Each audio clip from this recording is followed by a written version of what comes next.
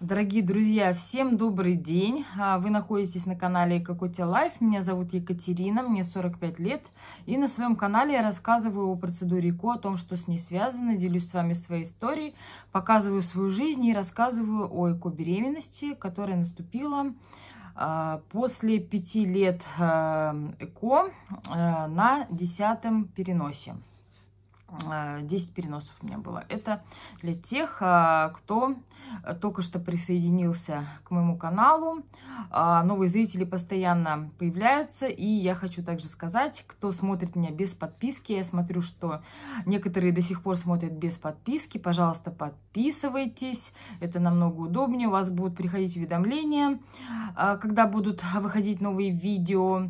А, и также нажимайте колокольчик, да, чтобы они приходили. Я всегда очень рада новым подписчикам. И тем, кто связан с ИКО, и тем, кто совершенно не связан с ИКО.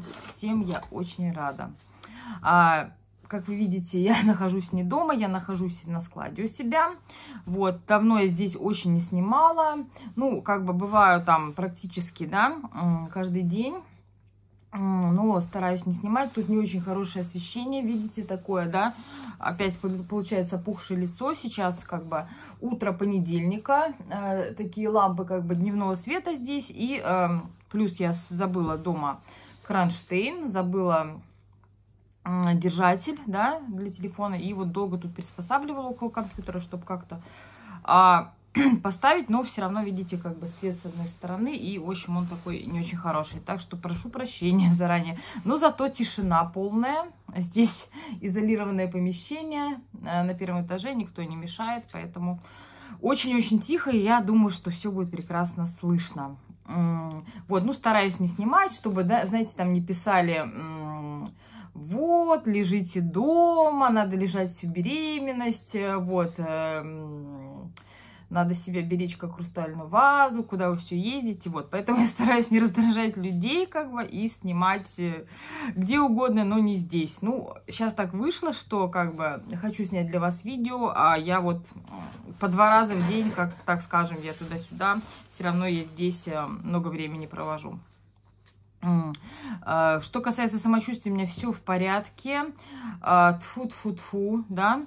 Уже пошла 16 неделя. Вот у меня как бы проходит вот эта сонливость, да, уже, ну, я считаю, что прошла, конечно, сил не прямо столько, как во время беременности, но сил много. Вот, также у меня отходит э, на задний план токсикоз, то есть он только вечером.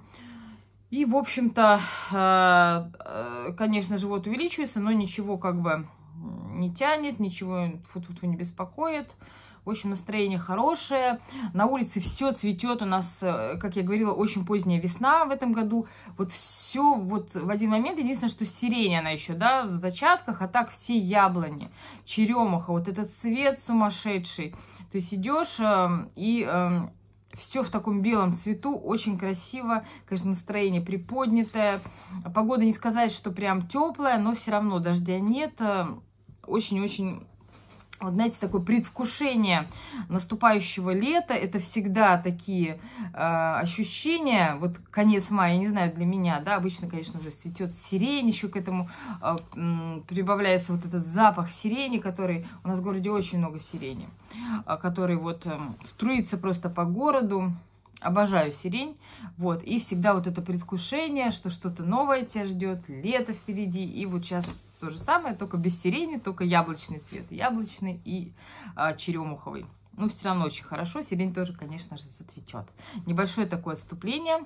Так, и сегодня видео будет посвящено а, ощущениям на 13, 14, 15 недели беременности. 13, 14, 15 это когда у вас как бы э, наступает уже 12 недель и пошла 13 11 12 видео у меня такое есть и 13 14 15 сейчас я расскажу о ощущениях.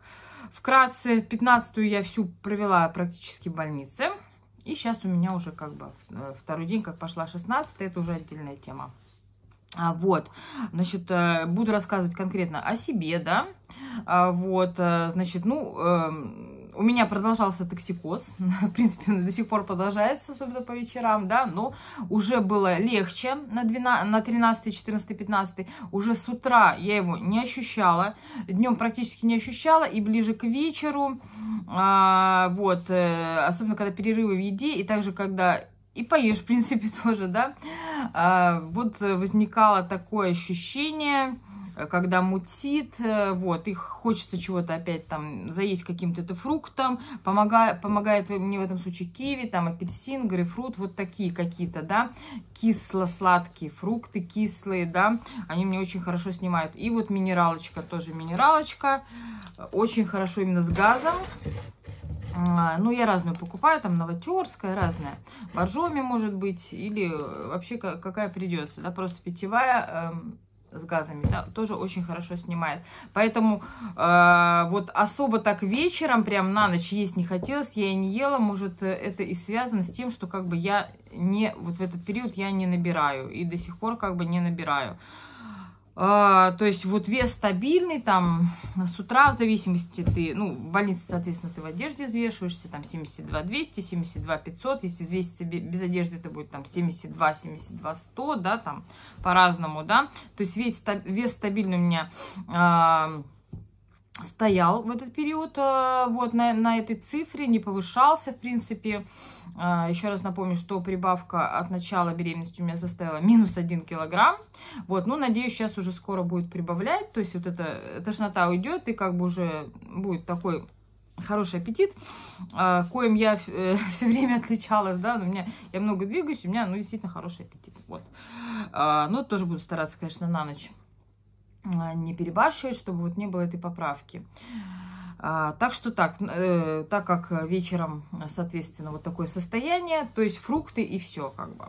Э, ужин там в 6, э, в 5, 6, 7, и дальше фрукты и все никаких больше там перекусов я не делала. Вот, а также в это время у меня, э, ну, сильно достаточно увеличился живот. Я вам в больнице как раз на 15 неделе показывала, какой он вымахал. Дело в том, что за эти три недели, вот, ну, я это взяла тоже не с головы, из приложения по беременности, вот сильный рост э, э, ребенка, плода, как уже называется, 12 недели, а, до этого эмбрион, да, а после 12 недели уже плод. И о, его вес и размер увеличивается в два раза. Вот, поэтому достаточно такой сильный рост. Еще у меня плацента расположена по передней стенке, может, с этим связано. Также узкий таз, и у меня вот прям очень сильно округлился живот. А, вот, то есть я его прям даже ощущаю, когда застегиваю там шнур, э, завязываю шнурки или что-то мне надо наклониться, то есть он мне уже так, в принципе, мешает, да, хотя еще такой э, достаточно ранний срок. А, значит, что касается там каких-то тянущих болей, вот э, поясница у меня э, тянула именно, когда я долго похожу, да, что-то что-то поделаю, да, не с утра это все, а вот от какого-то напряжения, значит, э, видимо, давление там, ну, плюс мои вот эти грыжи, да, там проблемы с остеохондрозом, у меня, значит, тянул поясница. Сам живот не тянул, а также живот не каменел, никакого тонуса не было. Но единственное, что когда ты лежишь как-то на боку или что-то, или как-то резко встанешь, э, вот тянет связки справа слева, но мне кажется, что это связки, да, матка, на которой крепится, она, видимо, увеличивается вот так резко, и вот такие э, какие-то, как будто потянули тебя, а, справа или слева э, живота, да, то есть вот э, мне кажется, там вот как-то органы меняют свое положение, и вот из-за этого, когда ты вот тут лежишь, там резко лежал, лежал на боку, резко как-то встал, то вот бывают такие вот ощущения. Также немножко кажется, а, уже к 15 неделе, что как-то, ну, вот идешь и как-то немножко, я не знаю, то ли одышка, может, как-то поджимает уже чуть-чуть легкие, не знаю, на самом деле это еще, наверное, рано, либо у меня просто такое ощущение от моего живота, вот, э, ну, как-то он уже, я его ощущаю, он мне немножко мешает, и даже кажется, что чуть-чуть мешает, как-то дыхание не такое стало, да, вот, в общем-то, так все в порядке было. У меня в этот период как раз уже э, а, нормализа... ну, вот я занималась нормализацией сахара, нормализовался сахар, в принципе, у меня э, уменьшаю, ну, вот на данный момент уже как неделю, наверное, сильно уменьшилась жажда, уже нет такой прям жажды ночью, там, вот как было, когда вот сахар был там повышенный, видимо, все-таки это связано. А, что касается давления, тоже оно как бы в норме. А, я купила тонометр, меряю им два раза в день, а в больнице вообще мерила, там делать нечего, бывало 3-4 раза в день. В больнице вообще оно было там 105, 110, 115. Ну, вот если что-то там, может быть, понервничаешь, да, оно может быть там 125, как бы, ну вот, допустим, прибежал мерить давление, там же надо успокоиться, да, не говорить, успокоиться, вытянуть ноги, это правильно, ну, правильно как мерить, да, ни в коем случае не говорить, когда надувается, вот, э, сжимается прибор. И, соответственно, а, если вы, вы смерили, вы бежали, допустим, как я там на прием к терапевту там бежала на второй этаж, опаздывала, вас э, пришла, мне сразу померили. Вот, надо посидеть там, несколько минут успокоиться и потом уже мерить в спокойном состоянии. Поэтому с давлением фу-фу-фу. Э, мигрень у меня была один раз в больнице.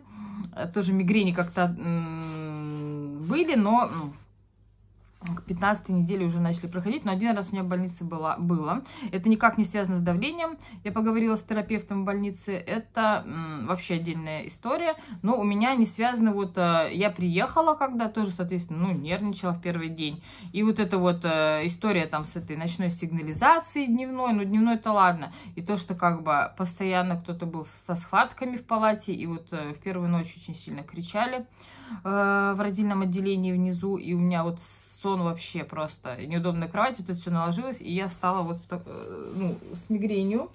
Э, вот, причем парацетамол у меня не было дома, это я не рассказывала. Попросила у них, они сказали, ну, у старшей медсестры, там, старшей акушерки, у них нету. И, и врач сказал, что нету. Мы можем вам, э, говорит, проколоть, уколоть какие-то профены или что-то, ну, типа кетанола. Я говорю, нет, спасибо, это очень вредно для ребенка.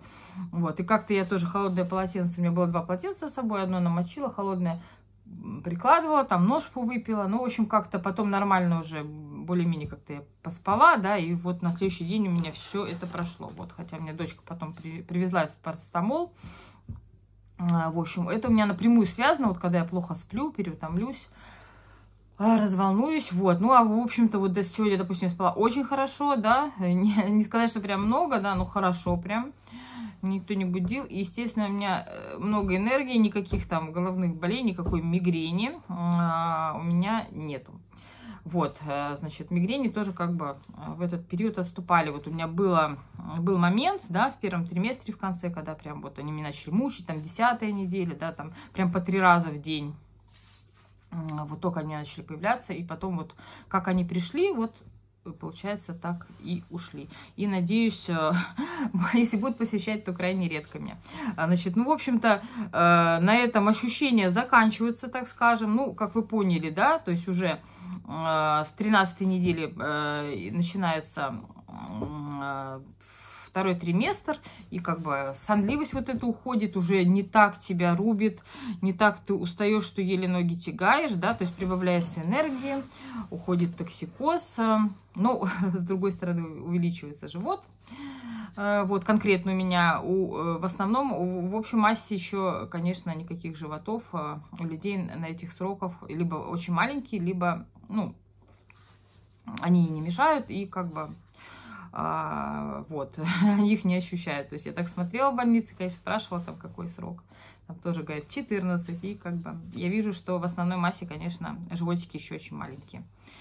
А, дорогие друзья, вот, в принципе, наверное, все ощущения, да, вот, э, кстати говоря, уже в этот период не тянет на соленое. Если это тоже насчет кулинарных ощущений. Если в первый э, триместр, особенно в начале, прям хочется какого-то соленого, маринованного, квашеных капусты, соленых маринованных огурцов, очень маринованных помидоров мне хотелось, помидор, собственно, соку, э, корейской морковки, морской капусты. Здесь уже все умеренно так, да, то есть вот это вот отходит на задний план, да, иногда хочется корейской морковки, тем более у меня муж сам готовит. А, вот, когда не готовят, можно купить в магазине морской какой-то капусты, каких-то оливок, но не так, что прям вот тебя трясет, да, а больше уже э, идет упор на то, что хочется как бы фруктов, да, там, салатика, там, с зеленью, с кинзой, с помидорами, которые уже э, вот сейчас хорошие очень появились, да, уже такие азербайджанские, мясистые, красные, вот, даже они вкуснее, чем розовые, кстати говоря, с огурчиком, вот этих салатиков, вот этих фруктов, а, вот как-то в сторону, да, такого э, не, не солено маринованного, а более там здорового питания, как-то вот такая тяга у меня, э, что хорошо, в принципе, да. Вот. А, а, еще что касается, да, немножко у меня э, упал гемоглобин, да, в принципе, норма написана 120-140, а мне в больнице вот померили как раз, это была 15 неделя, да, когда я поступила, у меня он 117, да, немножко как бы меня это беспокоит, но я понимаю, с чем это связано, потому что я сидела на диете, и как-то, видимо, вот все-таки, да, какие-то ограничения, кушать все время э, достаточно хотелось, потому что, ну, она не такая калорийная, и, соответственно, гемоглобин начал падать. То есть сейчас, конечно, надо упор делать на гречу, на яблоки, на, грана... на гранатовый сок, но тоже осторожно, потому что у меня гастрит. И также, я так понимаю, что печень там говяжья и вот говядина, да, соответственно, повышает э, гемоглобин, либо уже потом используют какие-то препараты железа. Но они сказали 117 еще нормально, да, там, но у меня всегда там 130-135, поэтому, естественно, мне это немножко беспокоит с гемоглобином. Ну, в общем-то, а, все ощущения за эти три недели я вам рассказала. Также вы можете написать, э, может быть, какие-то вопросы, что-то я упустила, и написать свои ощущения, что вы ощущали э, в, это, в этот период времени. Конечно, хочется, чтобы токсикоз уже быстрее-быстрее прошел, вообще э, не тревожил, да, даже вечернее время, чтобы уже ощущать себя как-то в какой-то период, да, вот вот этот второй триместр себя нормальным человеком, пока еще вот не, вы, не вымахал такой огромный-огромный живот. Э, вот.